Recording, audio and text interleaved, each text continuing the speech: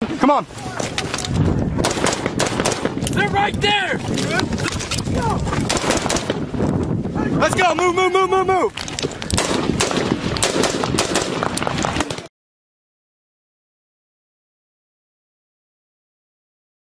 This episode of Choices Not Chances podcast is sponsored by Louisiana Gun Shop, located on Highway 90 West in Broussard, Louisiana, just south of Lafayette. For more information, stay tuned at the end of this episode. This is Choices Not Chances podcast with Ryan and Matt. I'm your co-host, Matthew Charette.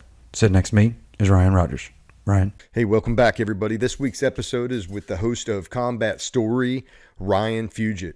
I first met Ryan when I recorded with him for his podcast several months ago, and I had such a great time and we had great conversation that I wanted to get the chance to get him into the hot seat, ask him a few questions as I was intrigued about, you know, the small amount of information that I learned during conversation, uh, you know, in the interview with him. Ryan talks about his decision to serve coming from hearing the heroic Silver Star stories of his father as he grew up and as a young man.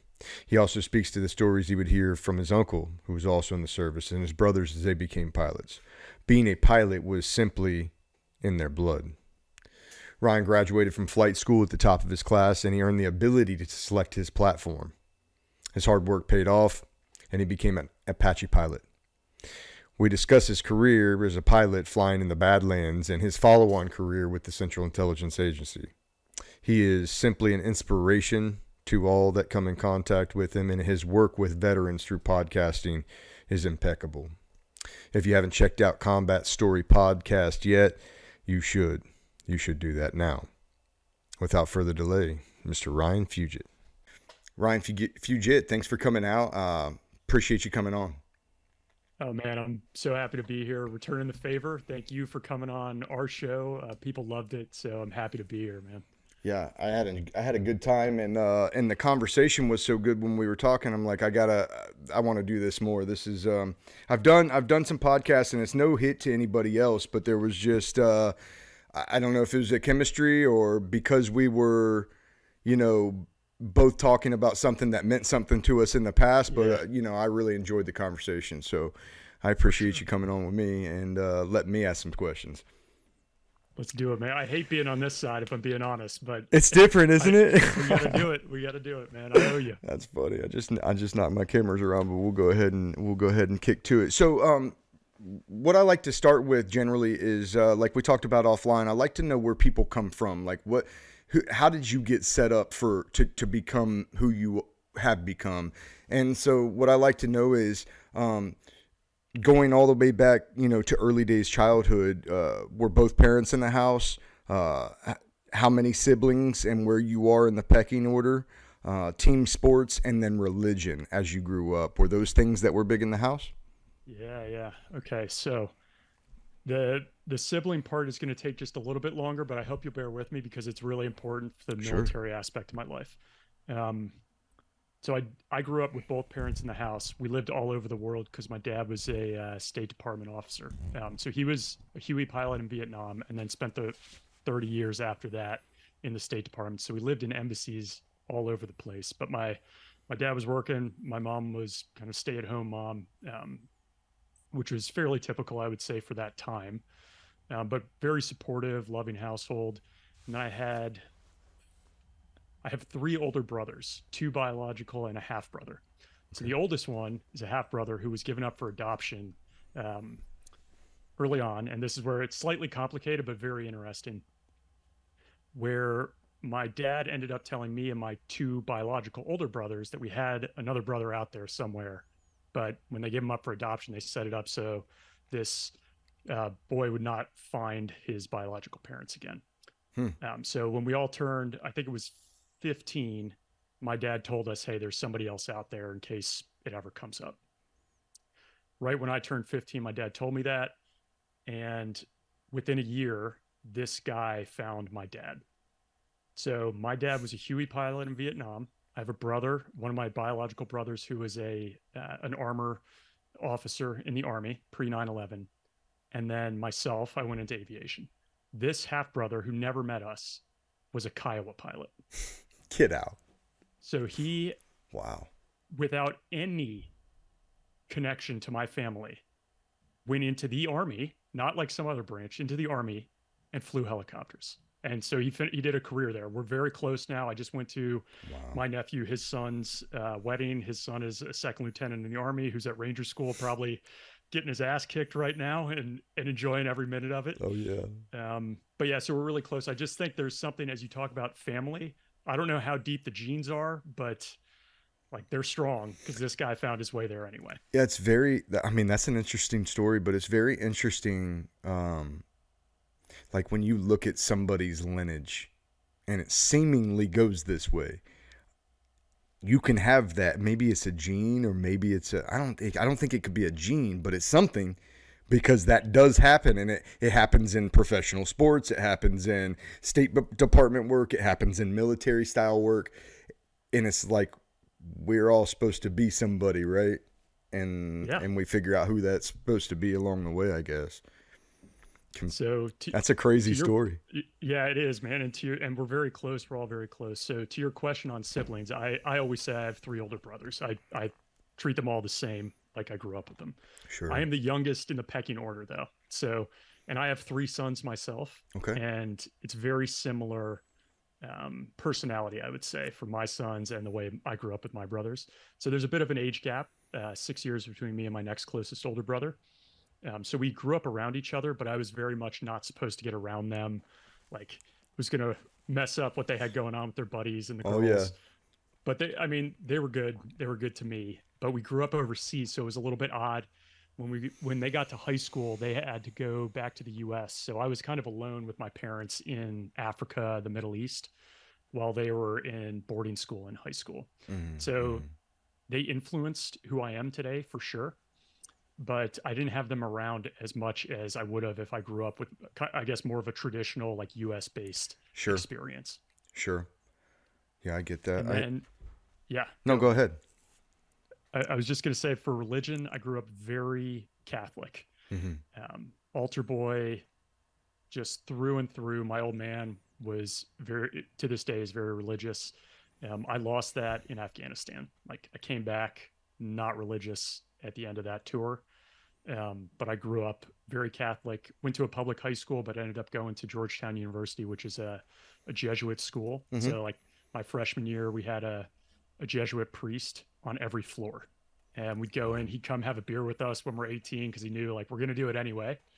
But it may as well be a part of the community and talk to us and hang out. So, um, I've always had like a very strong appreciation for the church and and the direction it gave me, but I very much lost that in Afghanistan. And then the other really strong component of my childhood was sports. Um, because I grew up overseas, I started playing odd sports for the U.S. Like I grew up playing rugby, Mhm. um, squash, swimming, weird sports, um, a lot of ping pong, which helped me later on, which we could talk about at the. I don't know what the CIA does to screen people, but one of the underlying common denominators has to be ping pong skill oh because it's intense competition, man. Like it. Um, anyway, so I grew up playing those those different sports, and when I came back to the U.S., I was 13 at the time, um, first time back in America for good, and I couldn't wait to play football. I read Friday Night Lights, that book back in the day, like Oh, about yeah. football in Texas. I was like, how do I get myself into this? So, eighth grade, first first year back in the U.S., I was like, I'll go and play football. So I played football, did track, some wrestling. I, I hesitate to even say that I wrestled because I was so bad at it, but um, I did that just to be part of the the community and that that team and camaraderie. Sure. And then I played football in college. Uh, Georgetown's one double A, so I played there for four years. Again, I can't say that I played much, but you know I very much appreciated being part of that team. So football has been a large part of my life from the beginning, or at least football and rugby. I still watch rugby to this day. Sure, sure. Now, um, two things. One thing I want to circle back to loss of faith in Afghanistan. We can come back to that later. Um, but as far as uh, coming back to the states, is that different? You know, you said 13. That's an impressionable age anyway. And then you're coming back, and now were you? Did you have? Did you have trouble assimilating? Did it, did it seem different coming back in? So it, it was different. I had moved, you know, from like Europe to Africa to Pakistan. So like I had had some serious culture changes over Mhm, time. mhm. And I do think all of this served me very well at the CIA, where you have to like quickly get to know people and, and level set and build rapport. So I, I kind of had that, I think, coming back to the US. And I played sports, which just felt like such a huge advantage because if you can compete, you're immediately part of a, a community of people. Some tribe will be there. Yeah. Yeah. Mm-hmm. mm-hmm. So I had that right off the bat, but it was a bit of a jump. Like the schools internationally that all the Americans and expats and the locals send, like the rich locals send their kids to, are very good. So I kind of came back and was in not the greatest schooling system, public school in Florida. Great story. Uh, in in our classes before I got moved into like the the more advanced classes when they realized, all right, this guy could probably compete at another level here Mhm. um, like I'd look around and, and kids would just be playing spades in class. They'd be Oh. doing whatever they wanted while class was going on. And one of those guys was Channing Tatum, who's an actor now. Yeah. Um, went on to play GI Joe, which just irked me to no end because I grew up like loving that. Was in the army at the time, and I was like, this guy's gonna play. I love, I love him. He's a great dude. But he was in my class at the time, so it was very much a culture shock. Like he went on to be a stripper and then yeah. an actor.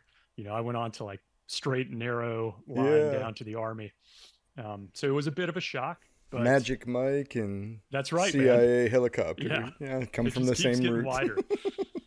um, but no, it, it was an all right assimilation. It wasn't too hard, and I was dying to get to America, man. Like I just reading Friday Night Lights, watching the Gulf War from afar. We take a trip once a year. I'd see the U.S. for a couple weeks, like I, just to watch baseball games. Like I couldn't wait to get back. So Mhm, I was mhm. excited for that. Now let me back up again because I missed something there. Talk to me, okay? And like, and I know I, I don't know how your memory is. My memory is a little bit shot once I go back a certain distance. But talk to me about what you remember living in Africa and living in Pakistan.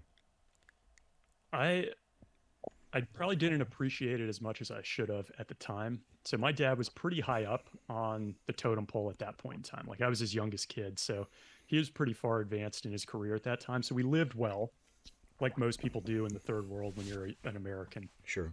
Um, but one of the really memorable things for me in Africa was my mom would take me with her to orphanages when she'd go and just like volunteer and help out. Mm. And so y- there's something I think you and I were talking about this, Ryan, when we edited our interview last time, which was there's something about seeing the third world for the first time that makes you really realize how good you got it as an Mhm. American, whether you're in the US or not. And that was like that first point in my life. I was probably seven years old where I was really thinking, I have it really good here where I am. Um, so I kind of saw that and I, I fell in love with Africa. I think a lot of people who go to Africa have trouble leaving it um, and forgetting about it. And it's really sad because we lived in Zimbabwe and that place is torn to shreds now, just Mhm. so poorly managed. It's you know, dangerous to go back. And one day I'd love to still go back there, but like Victoria Falls is there. They have great heritage sites, wildlife. So I loved it there. Um, actually, the guy who lived next door to us was the real life. If you've seen the James Bond movies, the guy who makes all the gadgets, Oh yeah. that was him. So he did that in a previous life. So I'd always go over to this dude's house. Me and his kid would run around and like check out what he what he had worked on and little tools that he had. Um, and then Pakistan was slightly different for me. So we got there in 90, 1990. My dad was high up. He was number three guy at the embassy. And it's a big embassy. So when the Gulf War kicked off, they evacuated us all out. So my my mom, my brother, and I got evacuated back to Chicago for six months. Okay. And so it was pretty impressionable. Yeah, I was about 11 years old. When we came back to Pakistan, they hated us. They hated Americans. Like whatever sentiment that was built up at the school with like the local kids, they really disliked us. So I had a, a formative event where I went to a school dance. I was in seventh grade. I was dancing with an American girl who was of Egyptian descent and these local kids had their bodyguards pull me out back put a gun to my head and they said hey you dance with another muslim girl again we're going to kill you um, so another event like that happened not too long after that so we got pulled out of that place and came back to the us um, so Yeah, I bet that's hard to forget about. Yeah i didn't leave on the greatest of terms but I still appreciated it. There, it was the first Muslim country I'd lived in. Like the call to prayer, they have a huge mosque in Islamabad called Faisal Mosque that I remember going to to check out. Food was incredible. Um, you know, I, I appreciated that lifestyle. I think and, Yeah. and the community. So overall, it was positive. I remember a bit. You know, it was formative until I was about 13, and then we came to the U.S. Check. Now, what happened? What? Where did this the the American uh, sentiment go? Oh, for those kids, Yeah. I think they saw the U.S. in Saudi. I mean, even though we were kind of helping push Iraq out, um, they just saw us on their lands. There was something about that feeling, at least within within Pakistan, that did not want to see that happen. And they evacuated us out because they were afraid that the embassy might get overrun, which had happened there before. So it wasn't unheard of for that sentiment to change. Yeah. Yeah, that's wild, especially at a young age. Um, but but like you said, does that bode well for the the later Ryan that you become? Probably in a big way, right? To have Yeah, international experience in your you know young teens and living outside the country, I think that probably bodes real well. Absolutely. Awesome, awesome. So, kick, okay, so kick into. It sounds like you have a lineage of people that's ripe with service. Do you think that's where it comes from, especially when you when you when you talked about your your brother uh, having nothing to do with you and still drawn to the army, still drawn to the to the Kiowa, some some some sort of platform being the same as you, your brother, your dad. Um, is there any other main catalyst that turned something in you, or or was that just kind of what it was going to be? so again for my for my half brother like i don't know how he ended up there but for us it was heavily influenced by my old man. Um, i remember just sitting watching hit like looking on the mantle. He had a very small plaque that had a silver star a distinguished flying cross from his time in nam you know and i'd ask him like hey dad tell me about that time. Like just like this actually and i've interviewed him on my podcast it was really special for me to Mm. hear to to just talk about a lot of the same events but he just expected us to go in. Part of it was to pay for college. Like he was a government servant. We didn't make much money. Mm-hmm. ROTC was a great way to pay for college. So we just understood we were going to go do that. But it wasn't a hard sell for us. Um, and, and just speaking for myself, I was talking to my one of my older brothers about this a couple weeks back because I just interviewed him, and we just ex- expected to go in to the military, and it wasn't necessarily because we had a, a lineage of service per se. It was just how we grew up and an expectation. And I, maybe it was part of, and I, I hate saying this, but the more guys I've interviewed over time, I've seen this this trend. Like the books that you read and the movies you see have a Mhm. tremendous influence on you. Like Mm-hmm. I have probably watched Top Gun as much as anyone on this planet. Mm-hmm. I, I mean, I'd go right up there. And then I remember reading like the Dick Marcinko books about SEALs, reading about SEALs at Nam. Gulf War was big. Like they had playing cards for different aircraft. Like I thought the A 10 and the Apache were badass Oh yeah. during that war, man. The Rock, you know, comes out. Like there, there were just some good movies and inspiration in the whole Cold War. Like we were very much a part of that. Uh, My dad Mhm. was in that Cold War world for much of his career. So we just grew up with that kind of like American centric focus. So I think it was more just this idea we wanted to, we just wanted to serve and help the US. And we were just a little, I mean, we were very sports outdoor oriented. We'd be outside playing, you know, um, army all day, all Mhm. night, shooting each other with whatever we could find. Like we just found a way to do it. So it's no surprise. I think the the thrill and the excitement took us there too. Absolutely. You know, and maybe it's not lineage, but you know, I, I don't know. I'm not, I'm not a uh, I'm not like a gene guy. I couldn't tell you. I'm not like a scientist, but what I do know is maybe it's not lineage, but when your old man is a guy that's outdoorsy and hunty and trappy and be out and be around and maybe he's a helicopter pilot well, that's what's imprinting on you in your impressionable days, and that's what you want to be like, and, and especially if you had a good old man, which it sounds like you did. Yeah, and I had a good father, so it's like when you when you see that, it's like that's what that's the idea of a man. That's the idea of a good man. And so maybe it's not in my genes, but maybe growing up, my positive role models in my life were good men doing these things. And so it drove and fostered, let's say, um, that life because I see it a lot in my son, and he's young. He's only nine. Um, but he, he comes home with special forces books from the library. He talks about the Marine Corps all day long. He wants to go over when I go over, you know, I have a little, you know, a couple little group of guys that I served with around here, decorated war heroes, let's call them. And when we go over, he wants to look at their medals and he wants to read their stuff and he wants to look at my stuff and he wants to look at my butt. You know, so when you have that and you're inundated with that, I think there becomes this expectation. Well, that's just what we do here. That's that's what I've always seen, and that's what I want to, you know, take part in. And it's beautiful because we haven't lost for a couple hundred years. So um, Yeah. I think we figured it out as a country, as a country, For which sure. which people should be fighting. Um, too cool. Okay, so we have history. We have brothers and siblings and fathers. Um, it's just gonna be the way. Talk to me about how you decide uh, branch of service, and then what you want to do as a specialty. Now, I kind of get the the helicopter thing, um, but was that from the beginning?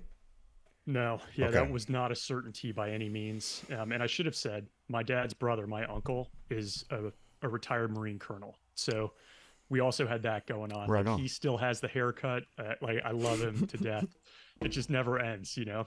Like he used to sleep in his car on TDY to save the Marine Corps money for a hotel room. It is just like through and through. I love it. It's Anyway, a cult, so he- it's a cult. He's great. He's great. Um, but no, there was no certainty that I would have gone aviation or even the army. So for me, I put in a packet for the Navy and the Army um, for ROTC. Got both of them. Had to make a decision, and at that point, I chose the Army. And to this day, you know, I still have regrets, but I would have regrets either way. And Mhm, to just mhm. unpack that a little bit for people who um, have their own regrets or are making decisions like this and feel like, why isn't it easier? Like it was never an easy choice for me. Um, like I, very much considered flying for the Navy or the SEAL route. I thought it would be very interesting. Um, something about the Army with my dad and my brothers drew me to that. So that kind of won out for that first decision tree. And then I went through a, four years of ROTC. They paid for all my school. I did like jump school one summer, air assault another summer, and then this terrible course that they send you to for evaluations. And by the end of that, I had whatever pick I wanted for a branch. So like I, I worked very hard to give myself options, which in Mhm. the end, like you regret one way that you chose or the other because you have all the options, but it's a good problem to have. Yeah, a good problem. So. I still remember the night before I had to choose my branch because I was going to get whatever it is that I selected in the army, and it was between the infantry and aviation. And you know, I still don't know if I got it right. Um, I think there was just something about being able to connect with my, my old man um, with what he did, sure. the stories I'd heard growing up, um, that took me that direction. And for sure, it was 2000. You know, I had to put the the packet in 2001, just before 9/11.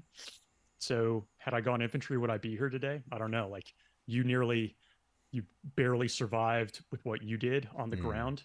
You know, certainly it would have been more dangerous in that route. So I still look back like maybe that would have been a more interesting path, but uh, and we'll get to this, but the the worst day I had in Afghanistan in the aircraft was 40 years to the day that my dad had his worst day in Vietnam.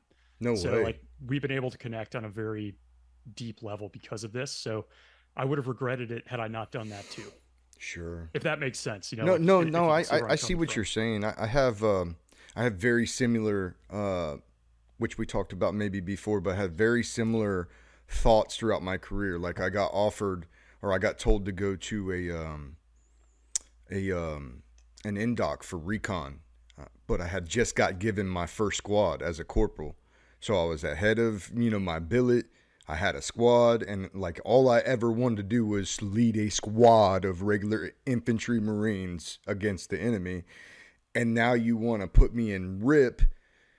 So I go to this indoc because I didn't really have a choice. I get voluntold, and I smoke checked it, you know, and then I turned it down. And so there's a like in my brain, later, you know, after I get blown up and come back from Marja, I want to go over to Raider Battalion and get a seat to ANS, and that's what ultimately ends my career as far as operating. Was that te- you know? So there's just weird things, and, and if I got Yeah. over there, what would have happened? You know, who knows? So I could have got hurt and rip and ruined my career, you know, and never fought. for sure. So there's just a million different what ifs for sure when it when it pertains to career and combat. But I I, I- don't I don't feel like I regret. I, I'm always interested and curious. But Yeah, if I would have done something different, word. there's just no Yeah. way to know what if it was better or not. Yeah, regret might be too strong. It, Mm. It's you know I certainly think like what would it have been like had I gone that route? What other opportunities would have opened? Which ones would have closed? Like Yeah. Black yeah. Hawk Down had a huge impact on me. I remember reading the book at jump school, seeing the movie.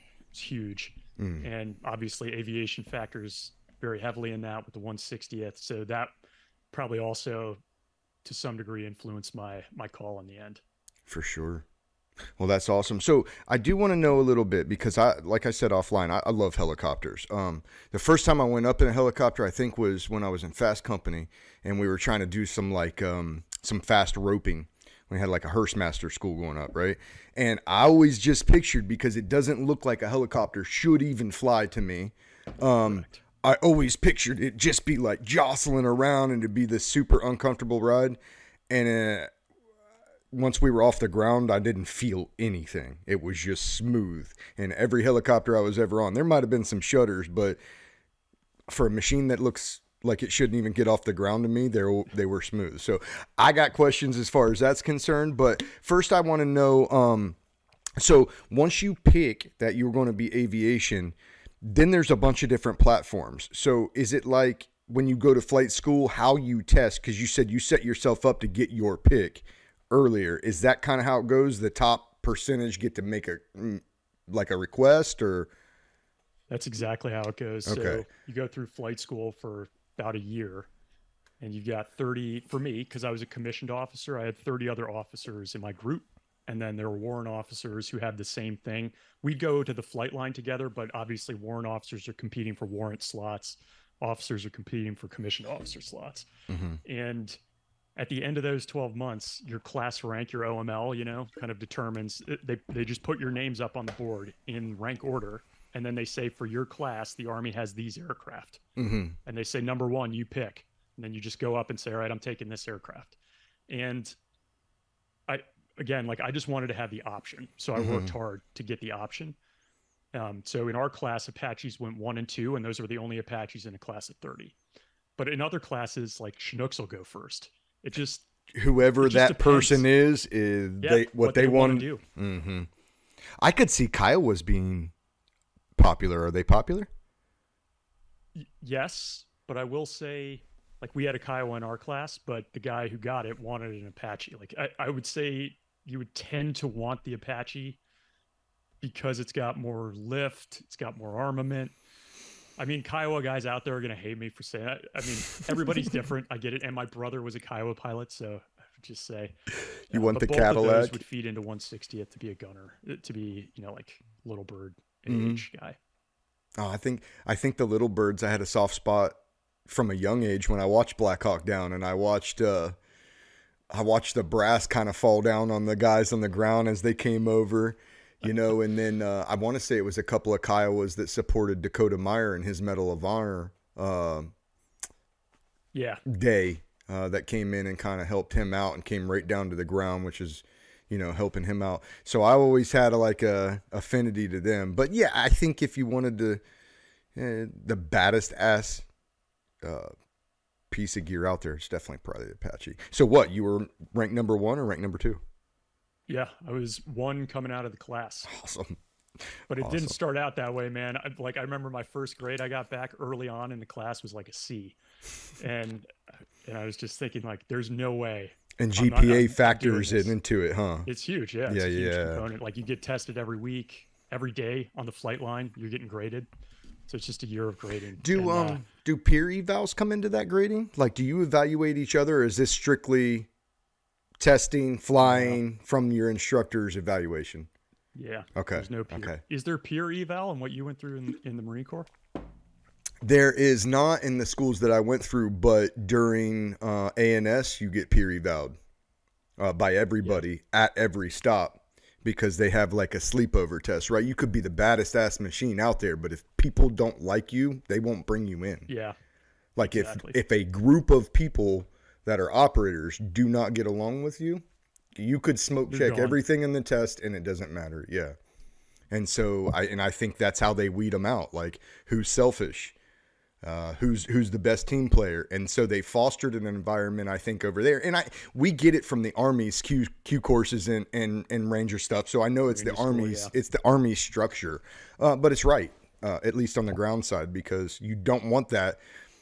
You don't want that guy that's going to outrun his logistics and his team and not communicate because he can. Uh, that's not the guy you want with you. So I think they do that part right. But okay, so you go through flight school, and um, okay, here's another thing I want to understand. So when you go through school, you've never flown. Do you even fly an Apache in school? You don't you fly before you get to your first unit. So you go through the basic flight course and some advanced training and then you pick your aircraft Uh huh. and then everybody goes and spends time in their aircraft. So like I flew an Apache in flight school in my advanced airframe training before I got to my Apache unit. Yeah, yeah, okay. But so the initial part of school before you pick the airframe, you've never flown. No. Okay, what do you fly There's a- during school? There's always a handful of guys who have grown up flying for whatever reason. Civil Air Patrol, they had a dad who flew, whatever. Mm. I had nothing. I had never even seen an engine before. Like I was so far behind the power curve, it was ridiculous. um, so it was just a lot to catch up on. But yeah, so, some of these guys just had a love of flying from a young age, so they Mhm. found their way to the cockpit. For us, you start out on it's called a Bell Jet Ranger, so it, it's a civilian Kiowa. It looks exactly like a Kiowa, just it's like a news helicopter. So you start out on that, and then you once you you can handle the basic traffic patterns and stuff at an airfield, then you transition into an older model Kiowa, Okay. and you do what they call kind of like tactical flight training. So you do kind of masking behind trees, landing to confined areas, nap of the earth, um, navigation, that sort of thing, and that's that's where you stay for all of your initial training until you get your advanced airframe. When you say nap of the earth, can you explain that to me? Because I, I Yeah, think I have an idea. I, I mean, I know I have an idea of what that is, but can you explain it? Yeah. So, and a lot of people will call it map of the earth incorrectly. So it's NAP, like NAP. Actually And thought it was you're- nape, so that's that's Yeah, how far yeah, off there I you am. go. So it's not even NAP, right? so map of the earth where you're flying. You got the skids or the wheels just a couple feet above the treetops, hmm and you're flying um, fast and low, as opposed to like at 1500 feet, you come down real low, whether it's like radar signature or just to avoid somebody on the ground getting a, a look at you for too long. Um, it was all moves pioneered in Vietnam for the most part hmm that we still use. And it's very hard to do. It's hard to navigate when you're low level like that. You don't have the, you know, like the same bird's eye view Yep. to see intersections and terrain features. And it's dangerous. Like if you don't negotiate a tree at the right altitude or a power line, especially in the US, something like that, it that's what kills people. So that's it's fun, it's exciting, but it's nerve wracking. hmm Now, because I'm so ignorant as far as the airframe is concerned, do you, can you just give me a basic down and dirty? What are you doing with your hands and feet to keep altitude and roll and and steer this thing? Yeah. So one of the things that I mention to people when we talk about flying is how how hard it is to hover, to learn how to hover. Okay. So everybody's a damn type A coming into flight school and like, oh, I'm going to nail this, knock it out of the park, and everybody gets their ego destroyed. Ego it- smasher.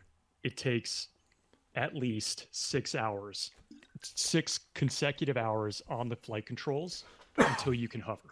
And once you learn how to hover, you're good for the rest of your life. But those 6 hours are dangerous as hell. So the reason I say that is you're believe it. learning how how the different flight controls all work together. So you've got a cyclic, which is kind of like the joystick. You've got a cl- and that gives you kind of the directional left, right, forward, back. okay. Then you've got a collective, which is this like long arm on your left side, and that gives you power. So like go up and down. Mhm. And then you've got pedals, which change the pitch of the tail rotor blade, and that's what yeah lets you yaw left and right. Okay. But the the trick here is if I make like one input to the left, like a slight input to the left on my cyclic, it changes the pitch of the main rotor blade and then causes us to to move to the left and decrease like my nose will go down Mhm. and so we'll descend so i have to pull in collective while i do that a very certain amount if i want to maintain position and as i pull in collective we come up a little bit but it forces the aircraft to turn like yaw. So Mhm. you have to counter that with the pedals and when you counter that with the pedals then you're back to the cyclic. So you have these this like three area dance movement with the controls that you have to master effectively to hover in one place to just be stationary in one place. And so what happens is Mm. they take you out to the aircraft with your instructor pilot. You have controls on both sides of the aircraft. He takes off gets to a five foot hover and it feels like what you said stable feels great no jerking around. And he's like you have the controls. Okay i have the controls. You hop on the controls and everything's cool for like two seconds and then it slowly starts getting out of hand and then it looks like like you're riding a bull at a rodeo man. It's like all over the place. And the ip oh. takes the controls sets down and that's like 10 seconds has elapsed and you do that for six hours over several days and mentally you're smoked like I'm sure. the amount of attention required to do that is is pretty significant So and you say once you get it, it's, what is it kind of like riding a bike? Like once you It's get the exactly like feel a for exactly how it is, then you just know how to move your body in con, in conjunction with other other limbs, and then That's you right. just begin to feel it. You become okay. yeah Yeah, that's that's awesome. exactly right Yeah, that's awesome. Yeah, that's um I've never flown anything, but I see the foot pedals in the movies and the and I'm like, what are they doing? I, I don't know what they're Yeah. doing in there. Uh, but they're doing it right. So that shows you how probably insanely hard a maneuver like let's say a Black Hawk down style maneuver uh when you got rockets coming in to throw that yeah you know, that's insane, huh? yeah that yaw knowing what's coming kicking the yaw out and like yeah, adjusting the aircraft for that with a guy on the fast rope i can't even imagine Yeah, that's insane. I seen some in in the in the first couple of days of our invasion. I seen some helicopter pilots do things that, and I don't know if they did it on purpose. They made it look really really sexy, uh, but they did things that I didn't want to be in that aircraft. Matter of fact, I my you, first guy that got shot, my first guy that got shot didn't want to get back on the bird because of what it looked like coming in to get him. Uh, so he's like, I'll take my chances on my feet, but yeah, that's I, I wanted I wanted to say just one thing because earlier I hate saying like yeah I was number one in the class. It makes me sound like an asshole. And the and the reason I say that is like I loved all these guys that were in the class with me. And one of the the very few aircraft like you don't really get it is medevac. Mhm. That mission set is insane to me. Oh, no yeah. no real armament. You're going into basically whenever the worst of the worst LZ. You got to go to the ground wherever you guys are, and you're picking up guys who have to get back right now or they're going to die. So I Mhm. just Those a guys are insane. respect, yeah, for the other pilots in the community, and I just don't want people to be like, "Ah, look at this jerk." No, I mean I don't think you class." said it. Not That's a that's a big issue with our community is that we self-denigrate. People can do amazing things and you don't want to talk about it and you don't want to pretend like you have skill and you say, "Oh, well, that's just what everybody Yeah. do." And most of the time it's complete bullshit. It's it's self-denigration. So being number 1 in the, any military school, especially a flight school is is doing something. But there's good pilots across every platform. I'll echo that. for sure. I watch guys come in for uh, dust off, the dust off crews coming in to pick, like you, you're saying, coming in to pick us up. And they're, when they get on the ground, they're cool, calm, and collected, like nothing's going on. And, uh, and I wouldn't be like that. I'm running up to him usually with somebody hurt bad, like, go, get, you know, what are you doing? Why are you smiling at me? Um, but they love it, man. So that's awesome. Big shout out to uh, to all the platforms. That's yeah. In no way did, uh, in my opinion, did that come off that way. But Nah. we do self denigrate as a as a culture of people. Um, okay, so let's move forward. So you get into the um, okay. uh, Here's my next question, and I'm I know this is a little bit aviation nerd questions that maybe everybody doesn't love, but I got questions. When you first fly the when you first fly the Apache, what's that like? So like it's different than control and all- everything. the controls are better because of i mean so i will say if you do have somebody who's an aviation nerd i recently interviewed another apache guy named brian slade and we talk in depth about a lot of this so if Mhm. anybody wants to go deeper you can like Oh, I'm definitely going to. i don't blame you because it's i nerd out on it when i talk to aviators Mhm. but specifically he's another apache driver so we talked a lot about this the apache so the control movements are faster because it's got electronic hydro basically when you make a, a control input instead of the the linkages like the truly the controls connecting to the rotor Mhm. like a signal is sent instead like So it's electronic signal. Yeah. so it's faster. So it, it's got stability there. It even has like an automatic hover button. We rarely used it, but it had it. But the difference, the thing that's hard about the Apache, and it takes longer to learn to fly the Apache because it's got this. I don't know if you've you've seen the. It's got like a glass monocle that you wear in your right eye, hmm and all of your weapons and flight symbology is displayed on that. And the other aircrafts don't have this. And they have it so that you can use the FLIR, which is your infrared system on the front, for targeting. hmm So you have to learn how to fly with only one eye is the key. So you fly this thing they call it the bag, and everybody pukes when they learn to do this in the Apache. So they cover the cockpit with the like literally they line it so you can't see outside, and you have to fly with only one eye.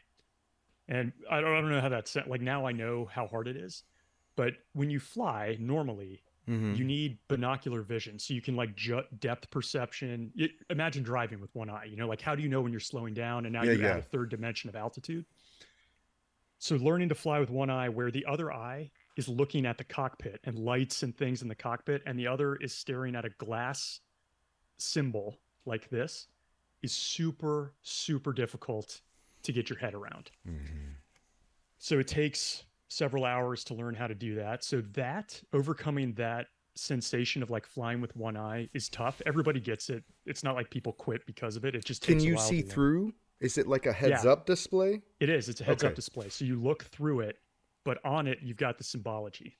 So and you need to know how to cycle through that and Yeah. do, do you it's- cycle through it like is are you able to select weapons through it on your Um, yeah, screen I mean, or yeah, you'll you'll select weapons with your hands and it'll change what it shows on the screen. But Yeah. it'll show you like your flight path. So so you don't need to be able to see outside. And if there's no moon, for instance, like you can't use NVGs, which happened a lot, only aircraft with FLIR could go out. Mhm. So because you could fly with infrared. So you're just using the change in temperature of objects to Yep. determine uh, what's out there.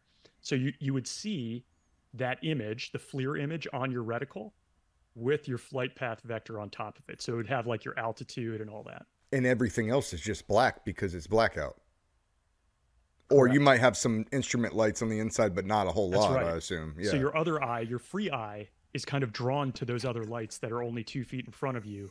And the other one is like on this thing right right in front of your eye, but also looking out into the horizon. yeah yeah So it's disconcert it's kind of uh, it's uncomfortable for a while. hmm But it's super fun to fly. Like the first time you go to gunnery is awesome. You're firing 30 mil rockets, all kinds of stuff. It's awesome.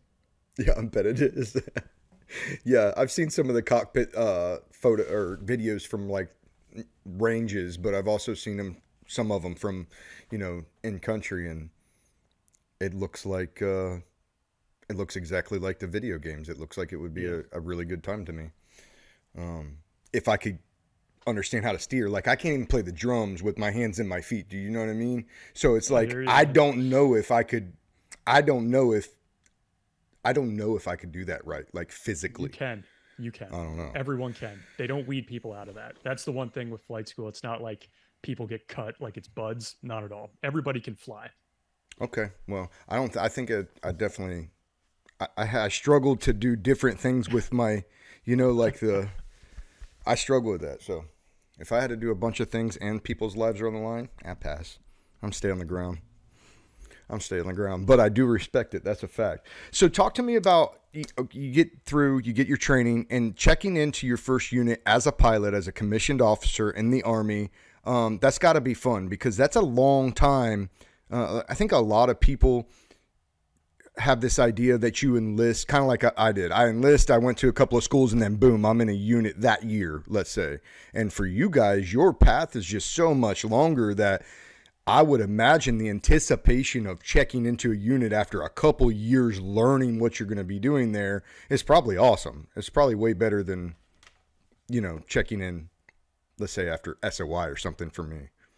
It is, yeah. No, I mean, it was probably 15 months total from the time I got out of, you know, got into flight school till I was at the unit mm-hmm. that I got to eventually. And I went to Germany to a unit that had just redeployed from Iraq not unlike every other guy I've talked to, including yourself. It doesn't matter what rank you are, and when you come in, you are still lower than dog crap on the totem pole. Um, so within the commission ranks, you get the worst job. You're doing all the additional duties. You don't know how to fly for real. The IPs are like, "Hey, I know they taught you all this stuff. You don't know anything. Just shut Forget up everything. Forget everything they taught you at the schoolhouse." Um, so you still have that, but yeah, yeah like there I, I would imagine you and a lot of these other guys would agree ryan like there's no place else you'd rather be than no for sure that unit for sure yeah you got to learn you got to grow and uh, i mean we talked about it when i recorded on yours i had one of those growing kind of careers that end up culminating in an awesome spot but i had to grow and go yeah. do some of these things and go through some of the you know all the things before i actually got there which helped me out. It sounds like it helped you out as well. For sure. So, what does an additional duty for a commissioned pilot look like? Is this like staff duty type stuff or? So, if you're lucky, I was lucky, I got sent right to a platoon as mm-hmm. soon as I got there. Um, so, I was a platoon leader right out of the gates, which is what every early commissioned officer prays for. Mm-hmm. Um, the worst thing that could happen is you become an assistant S3 so you're in the ops shop. You're one of many captains and you're or lieutenants waiting for a platoon to open, and maybe mm. it takes a, a couple years. Um, some of the, I mean, you're still helping out with how much is a platoon? J- just so platoon I understand. in aviation, at least on the Apache side, it was it's small. I mean, it's four aircraft and 20 people. Okay. So that's okay. Eight pilots, so eight commission, uh, eight warrants, uh, maybe 10 warrants, and 10 maintainers, like aircraft maintainers. Mm-hmm, mm-hmm. So, and then companies, two of those, maybe three platoons like that. Check. Check. And you, do you fly on a daily basis when you get out there or even a weekly basis or? Yeah. If you're in a platoon, you're flying regularly a couple times a week in, and this is conventional. Like if you're in 160th, you're probably flying every day. Conventional, if you're in a platoon or company, you're flying a couple times a week but if you're a staff officer, like an assistant S3, assistant S4, S1, you might fly once every two weeks. Mm-hmm. So nobody wants to fly with you because you're rusty all the time. So you you have to earn your stripes with the guys. You got to go like spend time in the simulator. If you're not getting aircraft time, you got to go put in time in the simulator, which is not as much fun, but you people got to see you're working for it. And when sure. you show up, you got to be ready to go as a staff officer. So as a platoon leader, though, you're flying more regularly. You're you're planning missions. So like you might do a, a training mission where you want to hit a certain phase line at a certain time at a certain altitude or practice gun runs or something like that. Mm-hmm. So you're organizing those, you're doing mission briefs, you're working on maintenance. Apaches notoriously break down. So uh, you got to make sure your aircraft are ready to go. You're yeah. constantly worried about maintenance. Now, are, which is not. Is that fun, something that the pilot is doing though? Is that something that the pilot has to worry about, or is it like you have to make sure that your maintainers are doing their job, kind of thing? Yeah, you got to make sure the maintainers are doing their job. But to be honest, and you know, my especially if my first sergeant from back in the day listens to this, commissioned officers don't know anything that they're doing about maintaining aircraft. the first sergeant does. Yeah. So basically, as a as an officer you need to know what's going on with the aircraft like what part is missing where is it at in the supply chain how long until this aircraft gets up which one gets rotated in you have to know all that for when the battalion commander asks you about it but nobody is is fooled it's the soldiers who know what's actually going on and have to fix that thing yeah yeah so uh yeah that that's just how it is and you're getting like a brief on that information i assume yes yeah yeah sure. I got you. I got a couple of buddies that are maintainers for well, they were for the V twenty two. I think they're done now, but um, Damn. yeah, and so there's always something going on there. Um, Yeah. seemingly. So, talk to me about your first pump. Um, downrange. So I was so worried. And I was in flight school like just after 9 11, um, 2002 into 2003. And I just felt like I was going to miss this war. The unit I got to in Germany had just come back from Iraq and really got. Uh, they were supposed to be this the first use of the Apache in Iraq, like battalion level missions, and they really got beat up. Yeah, Oh, really? Yeah, so they had a, a significant op that happened on March 23rd of 2003, where they ended up doing kind of like Cold War tactics almost, flying out, stationary hover, lots of aircraft, shooting at targets at once, and they ended up setting up right above the enemy. They were getting lit up. A couple aircraft browned out on takeoff. They just weren't used to doing that. What's that so mean? it was a brownout is when you're taking off or landing in a dust cloud because of the sand. mm-hmm, mm-hmm. Um, and it's it's hard to fly like that because you lose vi- visual with the ground with other aircraft. So it's there's a tendency to roll over in the aircraft and like crash, Mm-hmm. which happened. Um, so that event was pretty bad. Is that what unit. browning out means? You crashed, or it just means No, that 'cause it can be brownout conditions, but in this case, they had brownout conditions and crashed as a result of it. Mhm. which sucks. It's really bad. I mean, it's it's dangerous, um, just inherently dangerous. was it a dust storm? Yeah, I, I mean, it's not a dust storm. It's just because you're taking off where there's a lot of sand, and Okay, it just okay. creates like a ve- just a vortex Of, of sand. you can't see anything. Yeah, No. I, dude, I I've operated on foot in Iraq, where the where the dust storms look like the movie The Mummy. I didn't know that shit was real until I went to the Middle East. I thought it was like CGI for entertainment, but it looks like a wall of just like the movies and it when it gets does, there man. there's zero visibility a lot of times they would they would call it red air for us and red air meant that no support agencies could fly in the in- in the weather um and and so we would have to kind of halt ground operations this was early iraq or not early maybe 06 7 time frame Yeah. but when the air would go red it was like hold in place or or take a compound because we Yep. can't get a medevac to you if your mission goes bad and so um I assume this- that's why because of those conditions. Oh, your yeah. You oxygen for the this. helicopter and, and everything it's else. the wind, it's visibility, it's all dangerous. So, and when I say brownout, I'm not talking about those, but I I know those. I've been in those, mm-hmm, not in an mm-hmm. aircraft, but in Kuwait. Like I sat through one of those, and it, and it's surreal.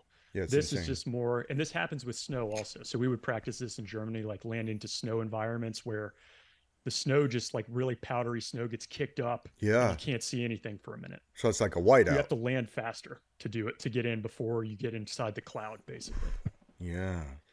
Um so Gosh, anyway I never thought about that. I never thought about Yeah. because you guys are in the sand all the time when you come in uh, over there. Right. So that's why, if you probably recall when you're over there, like they started creating concrete pads, even Yeah. small pads that you could land to to avoid this, and then they they would water the dirt so it was heavier and couldn't get kicked up. Yeah, avoid all yeah. that. Yeah, that moon dust is something else over there. Uh, just that Oh, yeah. fine like baby powder, and and I can imagine that plays hell on y'all. It's so bad for the aircraft. Yeah.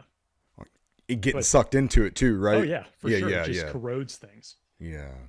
Um, but the reason I say this is I had just gotten to this unit. They just came back from Iraq. They had this black eye basically um, from that, so they didn't go back out again for the, my two to three years at that unit. Oh wow. So so I sat out for that. I went to between platoon and um, company command. You go to a course. So typically, I would go to Fort Rucker, which is where the aviation school is. But I I competed to get into this into the infantry course because I wanted to work with guys who were going to be infantry company commanders. Sure. Like I just wanted to sit next to them and listen. Like, how do you think through problems? How do you take a building? How do you take a town? How do you give mission briefs? Like that's who I knew I would be working with as an Apache. hmm So I went to Benning for that for seven months. Went through that course, and then I went to the 101st, and we deployed right away to Afghanistan. So Well, sorry for the what's lead that there, course? but it was just What's that course called though? so the every branch has the captain's career course. That's what we call it, and this one is called the maneuver captain's career course because it has infantry, artillery, and armor in one. Gotcha. Is that an ass kicker? No, No. no, no. Very gentleman. But you're learning a lot. You're learning a ton. Yeah. Uh, you got hundred guys in the class.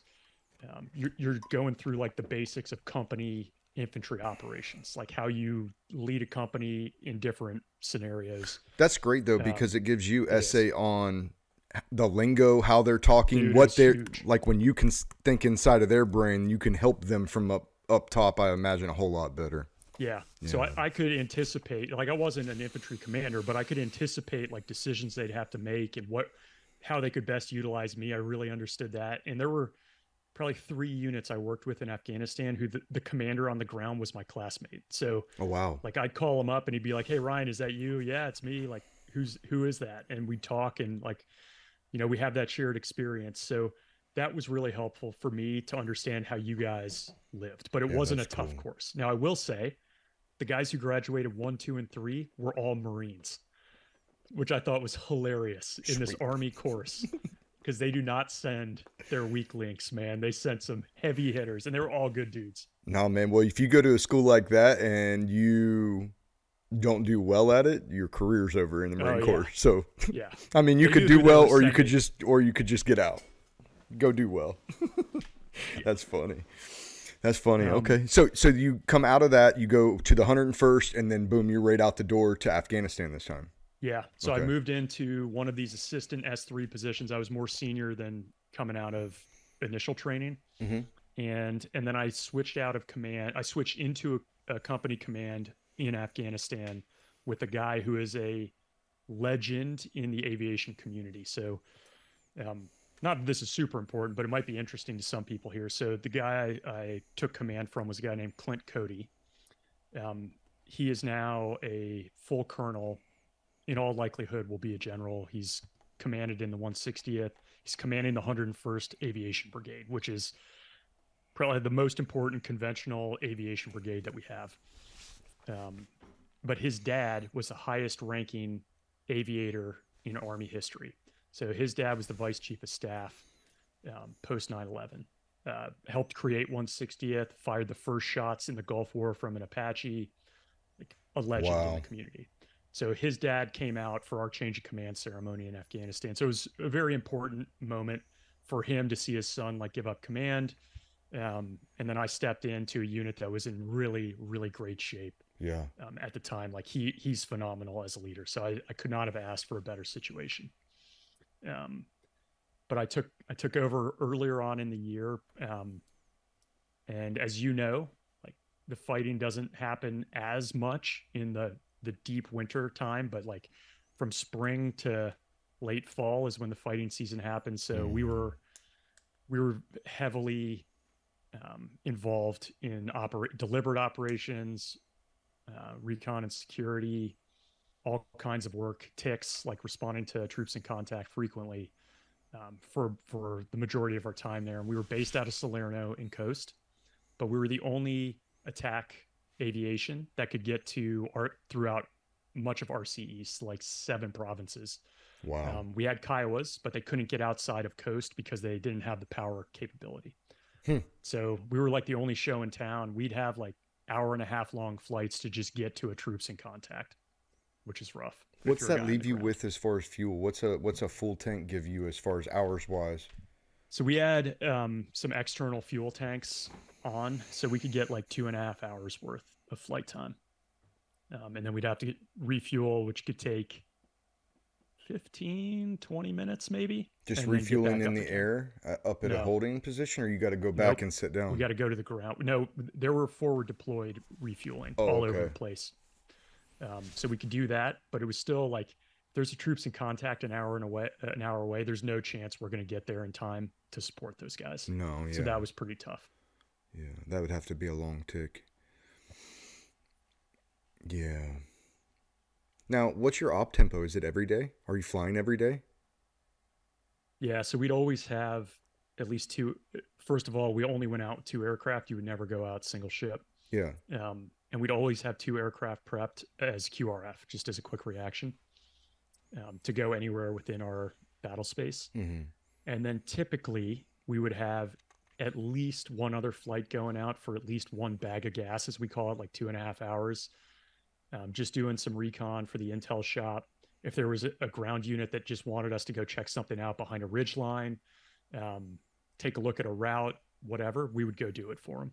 Mm-hmm. And we just check in with different units as we were flying around, like, hey, do you need us to do anything for you?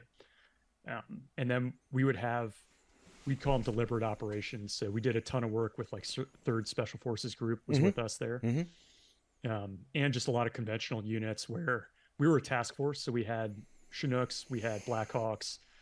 Um, so we would do air escort for some of these guys going in on a deliberate op. We'd provide support over the operation while they're doing a hit on a target um, and then we'd cover their their exfil. So we'd be a hmm. part of all of that, and we do those fairly regularly, probably weekly, if not more often than that. Oh yeah. And are you pulling the trigger on any of these? Yeah. Or we, a lot of these? Yeah. Um, our guys were pulling the trigger a lot. For me, mainly on your deliberate I, hits, I assume. Yeah. On the deliberates, yeah, occasionally we pull the trigger. Occasionally for troops in contact, we would QRF. Um, it's not every time. You know, sometimes there'll be a, as you know, from doing a hit on a house. Like if you got the element of surprise, yeah, you don't. that thing goes to plan. There's no shooting. It's just yeah. in and out, and we're gone. Now, what's but, that? Yeah. What's that? Can you? Are you watching this whole thing on a FLIR though, from the sky? So you can see would... friendly forces moving into position, moving into cordon, and then making a hit. Yeah, that's got to so be. So we cool. would be the first aircraft to get visual with the target, and we'd have the Blackhawks and Chinooks bringing in the assaulters behind us. So mm-hmm. we'd just be looking for any sentries, any potential obstacles that might be new from the mission brief, um, verifying the LZs where they're going to put the guys down. Like, yep. Is there all of a sudden a car parked there or whatever? Yeah. Or is um, it like a flooded kind of a flooded field or, once, or whatnot? Yeah, once they get on the ground though, we'll we'll move up to probably like thousand or fifteen hundred feet, and we're almost like a drone. We're kind of circling, watching what's going on, mm-hmm. getting ready to take a shot if necessary, and we're looking for any squirters, any you know like any bad guys running off the objective, any reinforcements coming on the objective, any maneuvering around in the objective on the friendlies, which happens occasionally. Mm-hmm. Yeah. Mm-hmm. And then we're deconflicting. You know, you'll usually have some other fixed wing aircraft in the stack above you. You know, yep. you could have an AC 130, which is the greatest aircraft ever. Yeah. Could have That's the hammer time. Yeah, they're so good. They're so good. Never got to use one. I've had them, had them in support, oh. but I never got to see them unleash the fury. But they're great.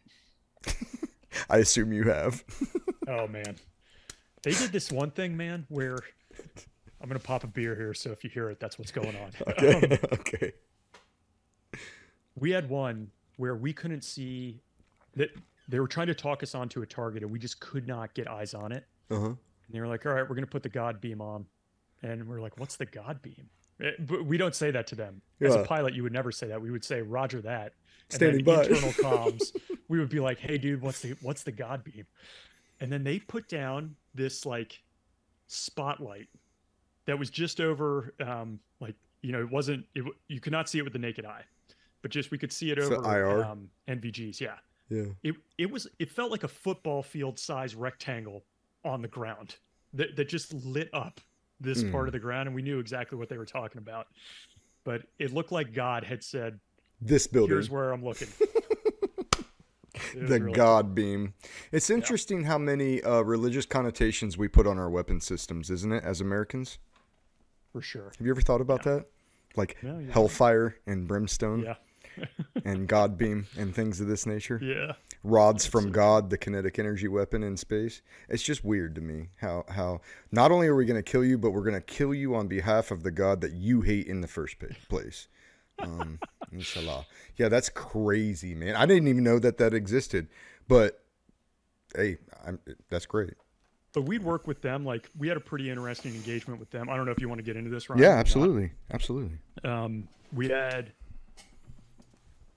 an assault element on the ground. I think it was Third Special Forces Group was moving on a target, and we spotted some some insurgents kind of maneuvering on them around a courtyard, kind of Mm. on the outside of of a building, and we were trying to get lined up to take a shot, and the AC 130 had kind of primacy in that part of the the objective. We could see them.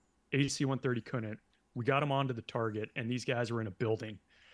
And this AC 130 just started dropping their what's it 105s to come out of that. Oh, thing? yeah. like Howitzer rounds. just walking it onto the target. They probably only needed two shots, and then they, because it was the the insurgents had kind of holed up in this part, this um, kind of small shed that was Mhm. attached to the main house. So they had to be really deliberate in hitting this at the Mhm. right angle. So they kind of landed their first round maybe 20 meters outside of the building area, then 10 meters, and then they just demolished this shed. Bingo. Um, and those guys stayed inside the whole time and just got crushed because of it. But they were maneuvering, like we could see them moving with their weapons yeah.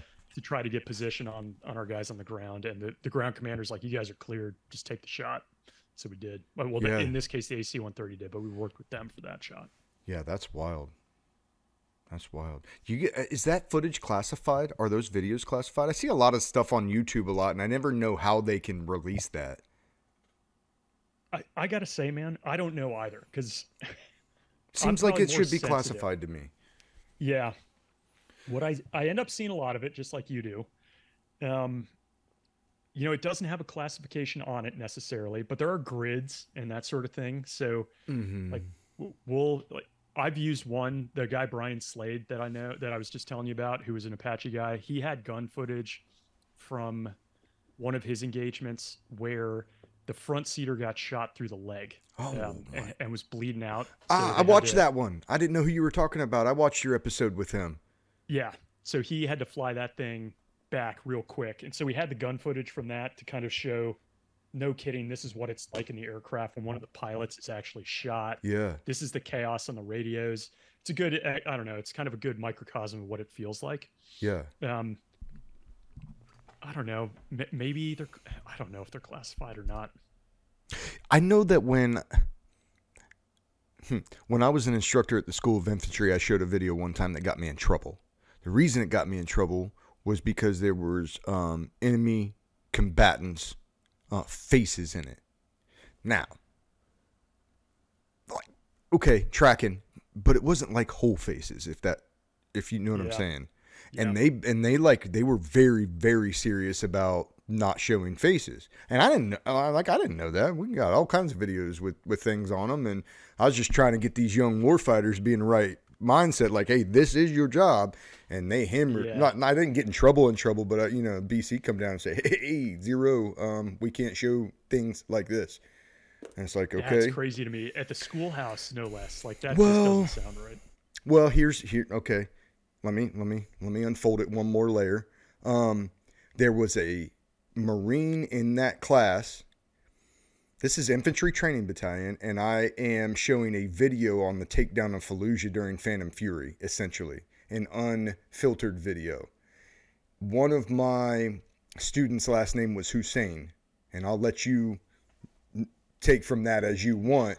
But when he comes from over there and we're showing a moto video with rock and roll in the background and people throwing up, you know, cow horns to killing a bunch of potential relatives of his or bloodlines of his, he got really upset. But it's like you're a Marine and that's where I'm sending you. Um, regardless, we got kind of on a rabbit hole there, but I don't No, know why. I I, got you. I just wonder sometimes what's um, what's classified and what's not classified. And I think that we have video games and simulators that look so real that I don't know if you could prove that it wasn't a simulator, you know? So Yeah. certain missions pretty wild. I always enjoy them though from from the YouTube. So if they're simulators, keep bringing them. I like them. it's fun.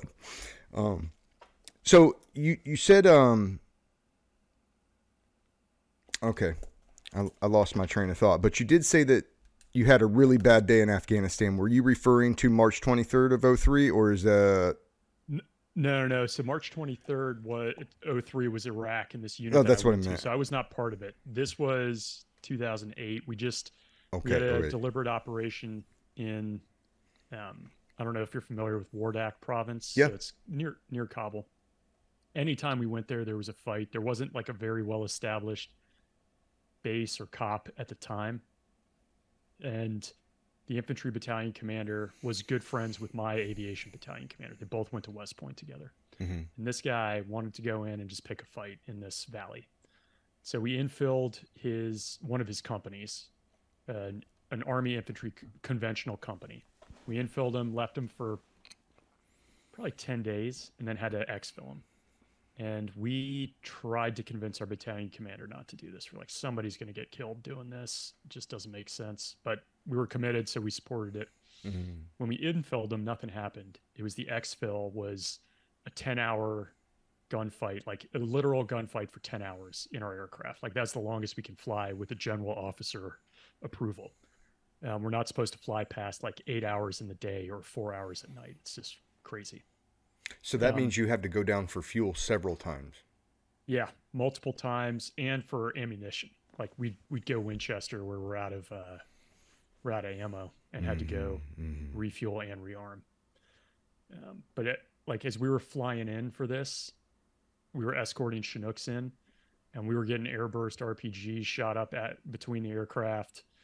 Um, we were able to air exfil people, no problem, but half of the unit had to exfil on the ground through your very like stereotypical Afghan valley, huge mount like thousand foot mountains on both sides, one road in the middle. Like it's uh, Mhm. an ambush dream like Panjshir or And so they just hard to see them. yeah.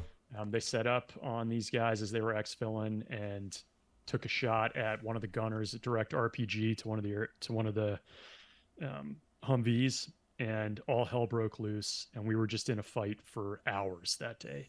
And like right as it was kicking off, we could not from the air. There were two Apaches up there. We could not see the bad guys. They just had such good concealment. Were they dug in? No, No. they just were there was just enough foliage in the kind of the valley floor was green you know it had Yeah. like, you know what it's like they're better than anyone you know it's not what people a lot of people would imagine like oh it's afghanistan it's barren no i mean Mhm, like mhm. there's buildings and and greenery there so they they just knew exactly where to set up so we couldn't see anything we couldn't see these guys it's chaos on the radio like people are screaming on the radio Mm. and ground elements or because we- air elements? ground ground Mhm, just mhm. like needed to get a medevac. They're taking fire from every direction. Have to find a place where we can get a medevac in. And they're just you know there are a few times from the air like these are the t- this is why i wanted to be a gun pilot like to be in those moments. Like i just want to be there for guys like you on the Mm. ground when you needed it. A- and so to not be able to pull the trigger is the most frustrating thing Yep. humanly possible. Because the idea if you're on the ground i think is hey they're in the air they have like all these m- magical optics they should see everything and there are just times where you can't find it Yeah. um, but there were a few times, and this was one of them, where you're talking to guys on the ground who are screaming because it's like their life is on the line. And it's not always like that. They've got standoff or they've got, they're in control of what's going on on the ground. But there are the few times where that wasn't the case, you just notice the difference in someone's voice. Mhm. And it's, it's troubling, man. Like it's very frustrating to not be able to help. So, uh, in my opinion, I had our, our, the three best other pilots in our unit were in the air with me that day. And we just had a quick discussion over the radios. And the most senior guy said, Hey, nobody has to do this, but I think we need to go and draw fire away from them until they can break contact. Like, we're not going to be able to take a shot. We can't see these guys, and they're just getting crushed right now. So he's like, Anybody disagree? And all of us were like, Let's go do it.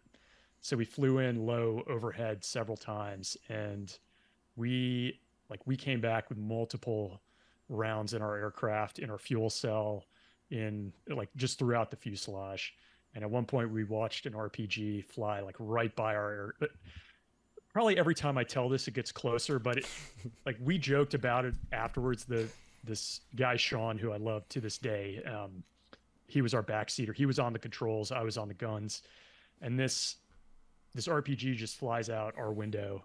And he and I joked about it later once we got on the ground and everything was fine. Like it felt like an Acme rocket, like we were watching from like Wiley Coyote or something. It just like we could see the back of it, the the cone flying forward. Like this thing airburst, we're done, and it just kept sailing. And we broke to the right. It kept going straight. Um, mm. But I just feel like from that point on, I was a different person. Like it, I, I asked this to a lot of guys, Ryan. I'd be curious. I don't know if you and I talked about it, but I try to ask people if there was ever a time where they just realized in that line of work, like I might die and I got to be okay with it. And I feel like to me, that was that moment for me. Sure. Yeah. I think two things can come of that.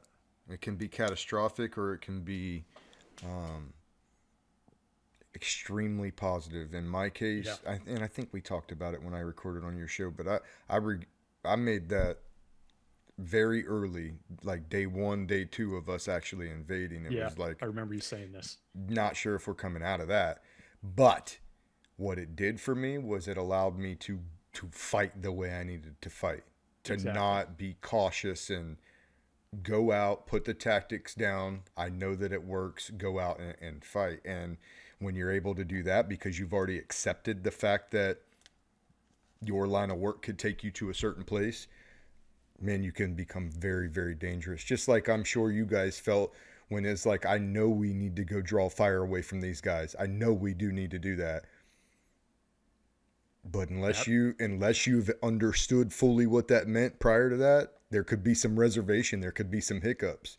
To on that day, obviously you had four of the best pilots in the you know in the unit in the air, and everybody had already thought about that and yeah. said, "Yeah, we need to go help them." And damn if we go down. I, I, think you're right. Like it just unlocks, it just allows you to be more dangerous, honestly, mm-hmm, and mm-hmm. and risky, mm-hmm. um, which is good for that. And then, and I think honestly, when it comes to the religion piece, which we talked about earlier, it was like this day, it was just a different person. That's where I was going to next. Was yeah. is this the day that faith is lost over there? Yeah, and, and I, I, I feel like it was probably eroding over time. Um, I had a pretty significant event that happened when I was in my unit in Germany, like right when I got out of flight school, my first unit that we were talking about before. Just before I left there to go to Benning to that other course, we did a gunnery exercise. And then this was 2005, maybe six.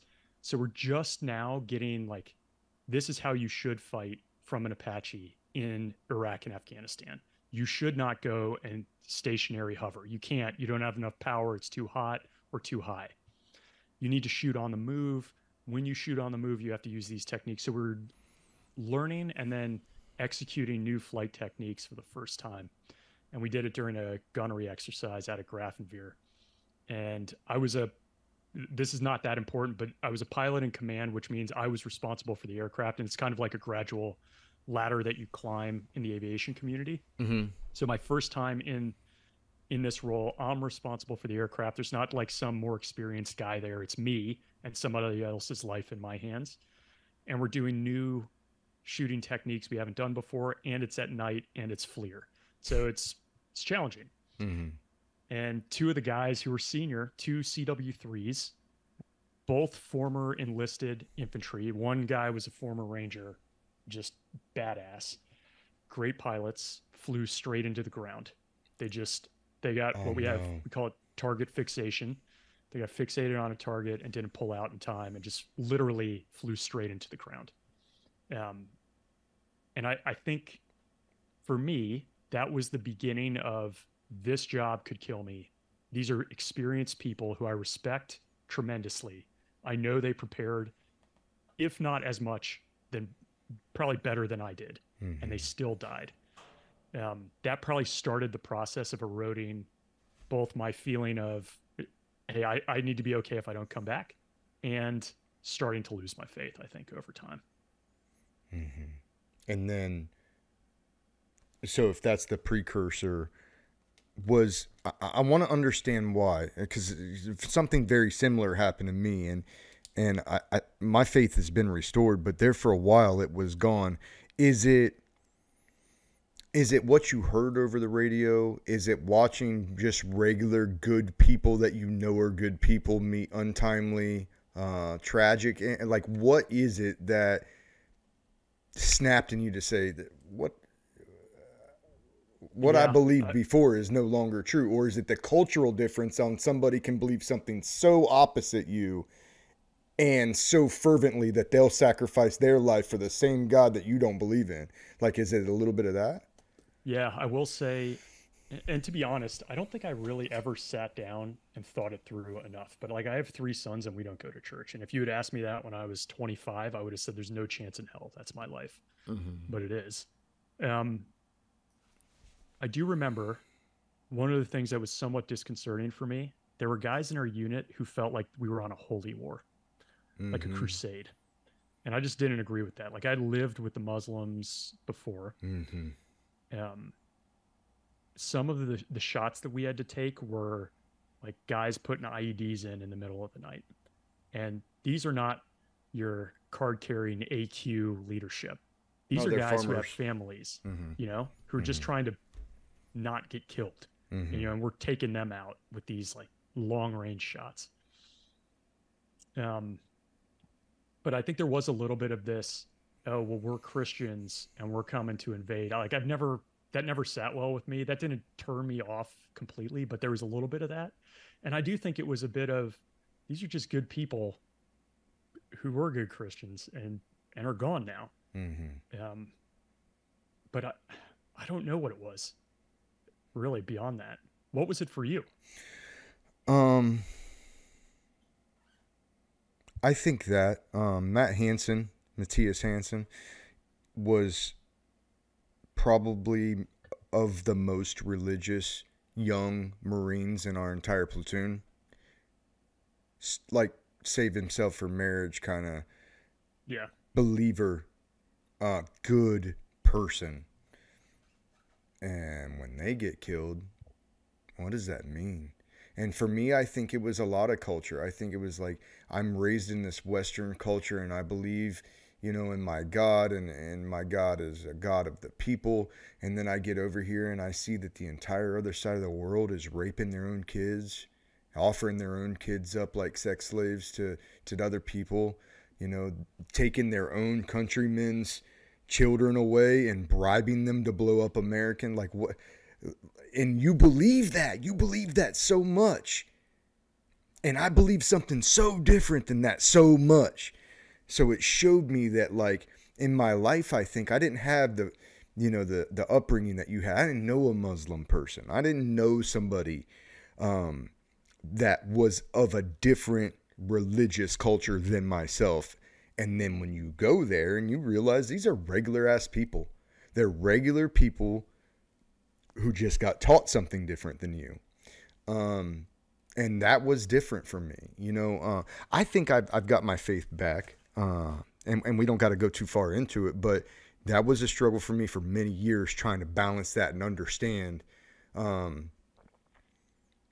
you know, that it's going to rain on the just just as, just as well as the unjust. And, you know, I heard that growing up my whole life, never really understood it. And, now I just have to level with it. I have to level with the fact that, that that's what's going to happen. There's going to be times that you don't like and they won't make sense to you. And guess what? It doesn't matter. You still have to go on and you still have to deal with what's in front of you and try uh, the best that you can to keep a pure heart through, through it.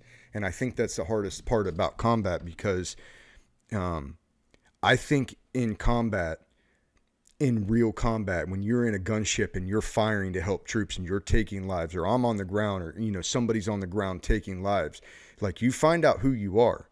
You f- Yeah. you find out the monster that you really can be. And then if you can never tame that and control that then I think it hardens your heart I think that guys come back and I think they kill themselves years after the fact because their heart Yeah. was hardened off off of the things they did in their youth um, so I think it's very it's one of those delicate things as a warfighter that you got to uh, keep in mind. And it's not so much like espouse to a God, but it is a spiritual endeavor that you will be on. And you will be confronted with how you think about that when you go Yeah. into those situations, I think. Mm-hmm. So I think it's um it's interesting to, to, to hear because nobody's been on my show or none of my friends that I've talked to have talked about that before, about why they thought maybe they lost faith or if they lost faith. So a lot of people are guarded about talking about that, but I think it's necessary to unravel that ball a little bit to find out where that goes. Yeah. And why that goes. So so let's move past that. Um I know that in in my we're like in the 06 time frame, right? 06, 07? 2008 when I was in Afghanistan. Yeah. Eight Afghanistan. Okay. And it was earlier than that was Iraq then, right? So it was Iraq, then Afghanistan? Yeah. Check. So from our last conversation, you said right around that 09 point is when you come out of uh, service, right? That's right. So is that following yep. that deployment to Afghanistan? Yep. Okay. So I come out of company command and I'm like I'm just cutting all ties with the military. I want to go and just be in the private sector, which I know a lot of vets have done, and very quickly realized that that wasn't going to work out for me. So, private sector job, paid well. What do you mean by private sector job? Flying? Yes. Uh, no, no. I just. Oh, you weren't flying.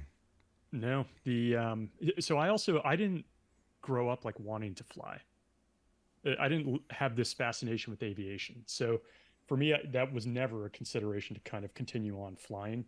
It was it was more like I'm going to cut ties and I'm going to go do something in business. And the Army has these programs for junior officers and senior enlisted where they place you in different companies, and then you you just start a career there in a different field. Almost like so an internship, or a little bit. I mean, Placement. they know they, they kind of and the army's not i shouldn't say the army. I mean there are private companies that take junior officers and senior enlisted and know like hey if you were this rating and your fitness you know like your uh, evals we can predict you'll be strong in these fields. Sure sure so yep. they've negotiated to have you land in a certain company that wants to hire a veteran who has a background like yours. So i interviewed at a bunch of companies and then ended up um, doing a sales job in the medical field, and I just it paid really well. People were nice, but man, like it was 2009, 2010. Marja was like I remember being in the airport reading about Marja and thinking, I can't believe I'm sitting here and that's going on. Mm-hmm. Like I got to find a way to get back to to the mission, and so um, I put in my packet for the agency because I'd grown up in embassies overseas and my dad knew a lot of people from the agency, um, from the CIA. So to me, it had always been like, man, that would be cool if I could go do that. Sure. So I put a packet in, and that's the direction I went. Sure, that's now. Was your dad affiliated, or was he State Department and just ha- cross mingle knew a lot of people? Yeah, he he was just state, but it's super common for state and CIA people to just be real close because you're at, you're at these embassies and all over the world together. Like you're mm-hmm. in the mm-hmm. buildings together. Your kids are the same age. Yep. You live in the same areas, so you become very close with them. Yeah, yeah, yeah. That makes sense. Check. So, is this like traditional? Um, like, I respect the trade craft. I don't want to get into anything uh, that that we can't get into, but can you kind of uh, give me a story or two, even if it's not your own, that would relate to what you did with the agency, uh, yeah. just to kind of paint a picture for for for my viewers? Yeah, for sure. Um,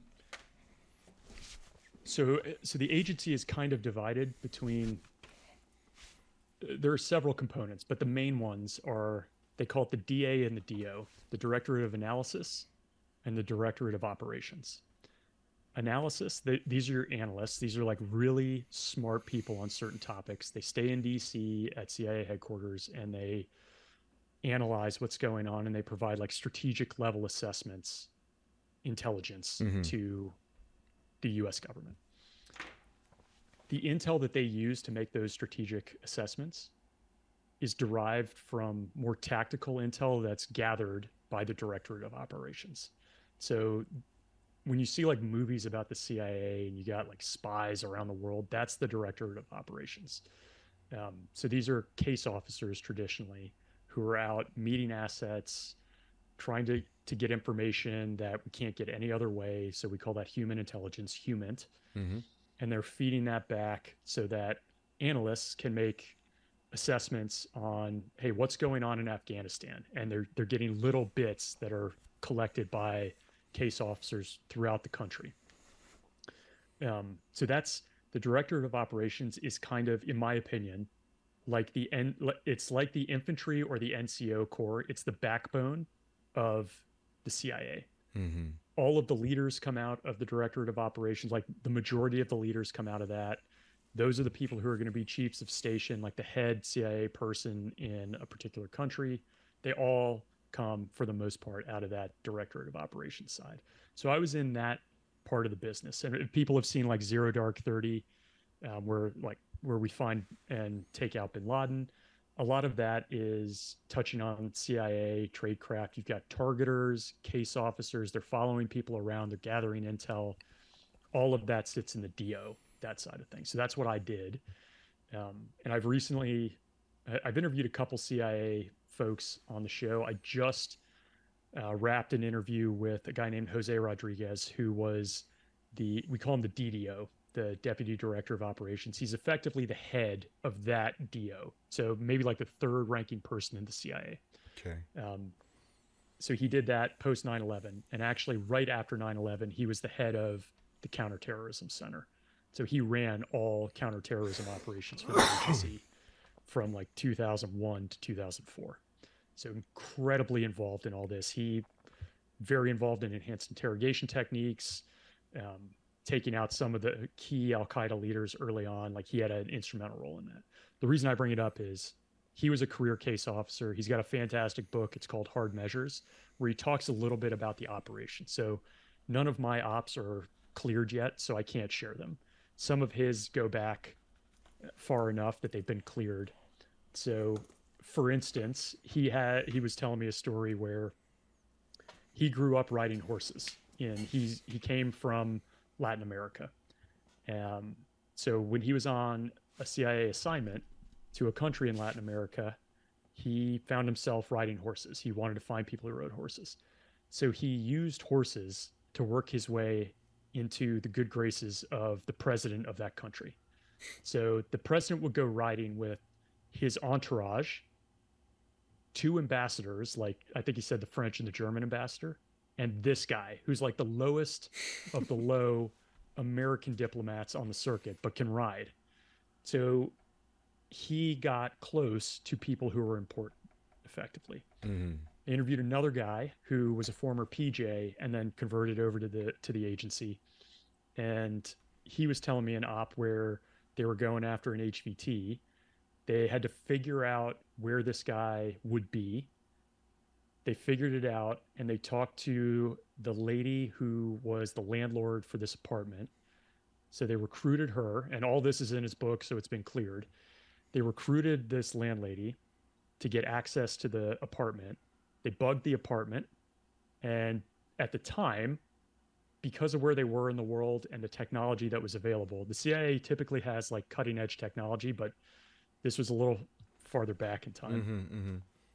To get the information, like the recordings, out of the the apartment, he had to physically be within a very close distance to it. So he had to hang out outside of the target house. Um, so they collected this intel while the HVT was in the target house. But then the HVT left suddenly and bumped into this guy, the case officer on the street. And he's like, I had to go for my weapon. And what you never want to have happen when you're on an op is to have mm-hmm. to draw a weapon. If you've done that, the op has gone wrong. Mm-hmm. So he's like, you know, split second decision, didn't pull the trigger. It's a good thing. Like we went separate ways. It was awkward, but he had never seen him before. Like they had never met each other. We just knew who this guy was. Yeah. So it's just another example. I guess the reason I tell these stories is there's a lot of creativity and innovation and ingenuity that goes into that role. Mm-hmm. Um, how do you get close to a person and convince them to report on the activities of their government or of a terrorist organization? Like, how do you understand their motivations and and use them to your advantage? Like, that's what you're dealing with all the time. So you have to have very creative people who can do that and who can go up and meet anyone. Like, you can't just meet with nice officers in the military, you got to go and meet with some some shady people. Yeah, the other time time. the other end of the spectrum as well. Yeah. yeah, yeah. Exactly. exhilarating i could i could i could see i i, I definitely get the allure um for sure um but that's that's wild man that's uh It's cool stuff. it's, It- wild i don't know what else to call it It, it is, and I, I definitely I found myself like without getting too deep into like details here, like you know I was a former army captain, so so low on the totem pole still.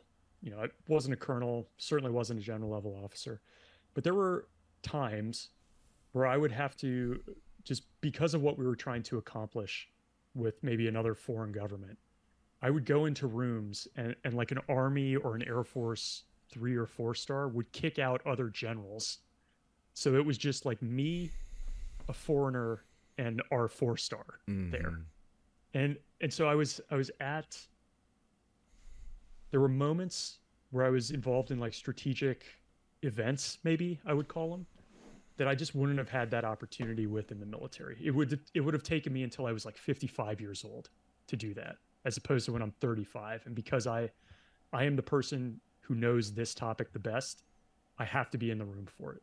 Mhm. Um, so I, I kind of appreciated that. I've always loved the military and that experience I had, but this side of things, like the agency and the intel community, it really sat well with me. Like I, it really resonated with me in that regard.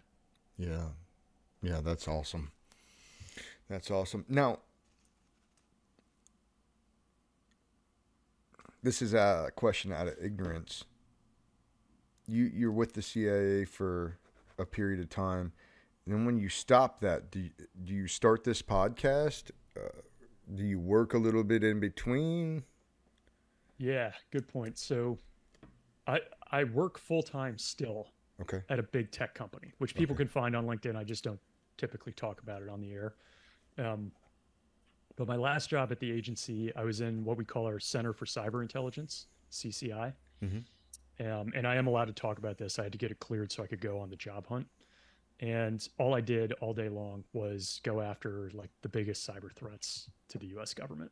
So I was kind of steeped in cyber the, in the cyber domain for two years. And then along the way, I picked up certifications in like penetration testing, ethical hacking, and that sort of thing.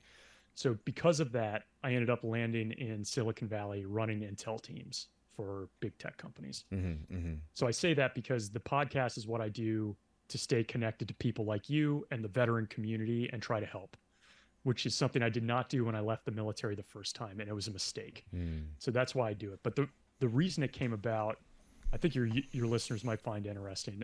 I- I was deployed with the agency again, um, in in a war zone, and I was away from my family. It was probably year four if I add it all up, like training, deployments, everything. You know, I think I've been gone from my family for four years, and I know that's small compared to a lot of guys It's a who've lot, been though. multiple times, but like it's still you know, if somebody's been gone one year, it's that's still a significant it's a significant is. period of time yeah And I just remember thinking, like, God, I'm early 30s or mid 30s, and you know, I've got three boys at home. I've got a wife who's trying to like hold down a job, and you know, I'm doing what I think is important. I'm helping, like, I'm fighting some really bad people doing this work, and you know, who who really understands what that's like for the people who who sacrifice and do that. That that's where this came from, and I was thinking how many guys have been gone for 10 years? How many people have no relationship with their children anymore because they chose this life? Mhm. And there are many. How many divorces are there? Like so many. Mhm. Um, and there was just a bit where I wanted to share, I wanted people to hear that side of it, like a little bit deeper than just the cool war movie where there's a lot of shooting and high fiving. Like the the effects are longer Mm. lasting than that to me, I think. Hundred percent. And and if I'm being honest, I wanted just one politician to listen to that, to one interview one time. So when they make a decision to go do something, yeah, and they've never served, which it's okay if they've never served, but I would expect them to be educated and, and I wanted them to hear some of the really tough stories that people go through with the decisions they make in a nice, comfortable room one day. Mm-hmm. So that's Mhm. where the podcast for me came from. was wanting to do that. So That's beautiful. That's beautiful. It's a very similar, as you know, similar to to to, to this the reason of my show. I, I want to show that the spirit spirited core, that brotherhood, but I also want to bridge that civilian military divide where uh, people don't think as much as maybe they should think when they're making big, huge geopolitical decisions for the rest of us.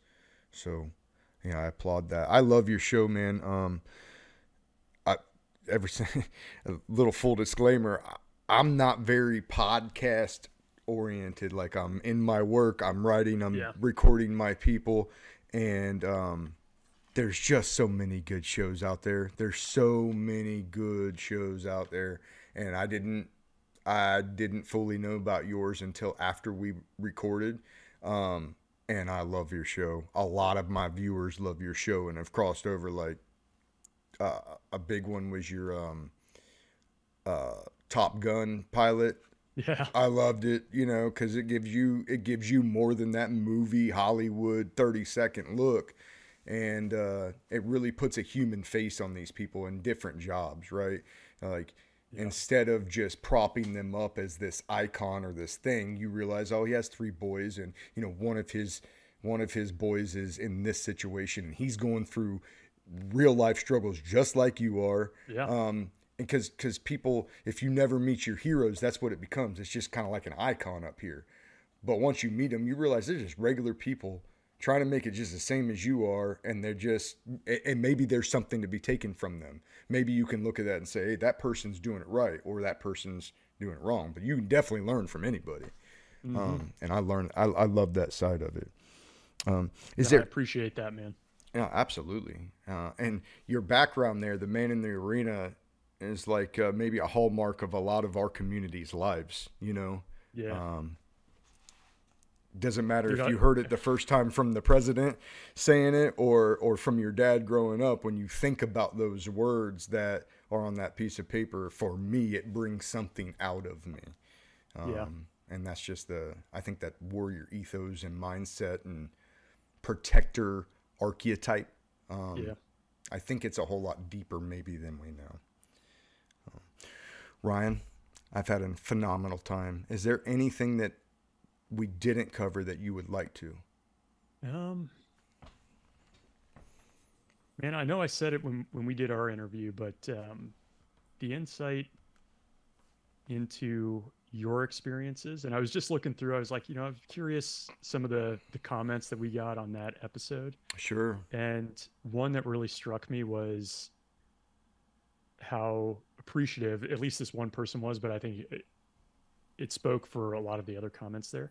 Just how real you were about your what you saw and went Mm. through. And i know that's why people listen to your show because you are real. And those are the those are the shows that end up getting the best response are people who are just kind of open and real about what went on. So i would just say thanks for for what you did there and, and talking with me uh, um, that it was a side of of a battle i really wanted to dig into that played a, a huge role in me going to the agency Mm-hmm. so um, thank you for taking the time with me on that on my show, Oh, and thank you for having me on here, man. dude. Every time we talk, I learn something new and I enjoy it thoroughly. So, uh, And, and I will say, if I can just one plug here, um, one thing I've noticed on my show, people are very quick to to support military veterans, which I support wholeheartedly. Less so to support folks from the intel community and the agency. Hmm. And it does get a bad rap in movies, but to me, that agency, I felt like I was working with the same men and women that I served with in the in the army, and I Mhm. met in the Marine Corps, in the Navy. Like, the, a lot of them come from those backgrounds, but all of them just are agreeing to get paid almost nothing, be away from their families for a long time, do a job they can't really talk about ever, um, to just help other people. And so I, I think my ask to your community would be, as you run into folks from that community, I, I would say it's appropriate to thank them for what they've done because they've been downrange arm in arm with us, um, with the military in Iraq, in Afghanistan. I'm sure, like in Ukraine, they're probably, I hope they're just giving hell to the Russians right now. I think they are. They're there. Yeah. I did a uh, I did a show recently with a guy named Rick Green. It's out on my platform now, but uh, Rick was s- s- a State Department higher up in in Moscow for like seven years. He's lived in fifty different countries. He was a NATO arms inspector for nuclear and biological chemical warfare, and uh, I just I just sat down with him for 90 minutes. We're about to do another 90, but he's still getting battle maps and stuff of Ukraine and uh, you know, I don't know what all he's into, but he was very into that. He was very knowledgeable about that. And the numbers that he gave me, the sheer numbers of losses on the Russian side are insane. It's crazy. It's insane. But I mean, we can talk about that for another three hours. Just that that's kind of the MO, right? They're gonna throw Yep.